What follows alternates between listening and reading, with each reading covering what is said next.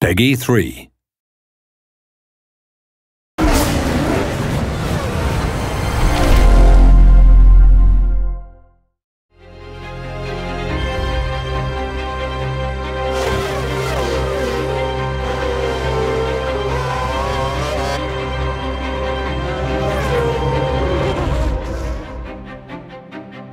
As people get more and more accustomed to Formula One, they want to notch it up. Every year we're learning something new, every year we're pushing to improve that experience.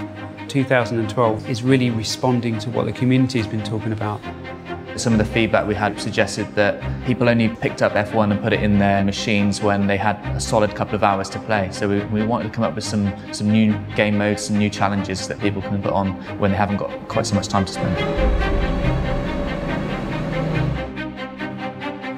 One of the new modes for 2012 is called Champions Mode, with six world champions on the grid this year. We thought it'd be interesting if we made a scenario mode about trying to beat each of those champions across progressively difficult challenges. So it's really based around three, four, five laps of just intense driving. The race is in progress. Can you overtake and defeat this champion driver?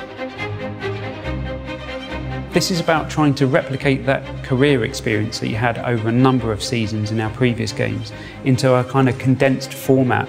It's a 10 race season and it's a little bit more sort of arcade based, so you sort of challenge rival drivers and if you defeat them a couple of times then you steal their seat and you progress up through the grid. We spent a lot of time working on new modes, but we also wanted to inject some new ideas into the, the normal career mode. We've made more of the press clippings and more of the world around Formula One, so you're going to start to see more involvement from team bosses and uh, engineers and uh, key people within the teams themselves. And I think when people have got a nice bit of time and they want a single player experience, you still can't beat that career mode. Multiplayer is a huge part of racing games, of the racing experience, that sort of will to compete against other drivers. So we've got lots of different game modes to cater for how much time you've got to race online. I think with Formula One, people like the thought of qualifying and getting the, the, the, grid and that sort of pressure of that environment. So we've introduced one shot qualifying rather than one 10 minute session or three knockout phases. It's, you know, what can you do in one lap? That one lap's going to determine your grid position. So that adds a lot of pressure. 2012 really is something completely unique. This is about playing Formula One your own way.